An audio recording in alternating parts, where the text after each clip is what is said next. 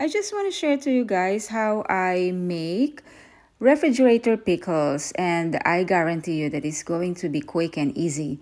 And of course, all we need is cucumber and we also need uh, dill. If you have a fresh one, it could be better. Black peppercorn, yellow mustard seed, cider vinegar or any white vinegar that you have.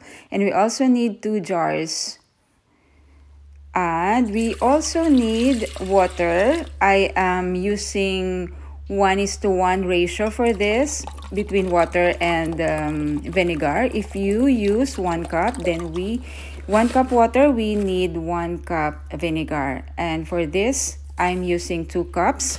So two cups of water and two cups of vinegar. And i'm also putting 2 tablespoons of salt and 2 tablespoons of white sugar. And um, we're going to boil this just to dissolve the sugar and the salt.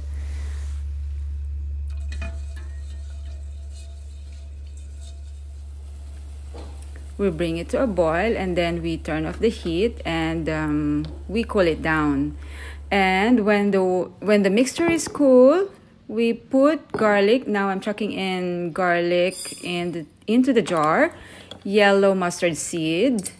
I'm putting half teaspoon of uh, yellow mustard seed half teaspoon of black peppercorn and also half teaspoon this is very special ingredient the dill. Whether it's fresh or dried it is a must to have it. And now i'm cutting the cucumber into an inch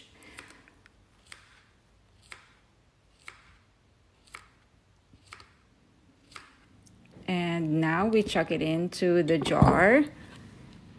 And um, I'm sure you're gonna love this. For for two days let's leave it for 48 hours in the fridge. And it's all done. It can last actually for about um, two months to three months to stay in the fridge. And I'll just giving it a good shake to mix all the spices and now we're keeping it to the fridge. And I'll show you what I have made last month. I've made six jars actually last month. And now it's almost done so I I made a new one. And hope you like this video. And if you like it please leave a comment below give me a thumbs up and subscribe. Thank you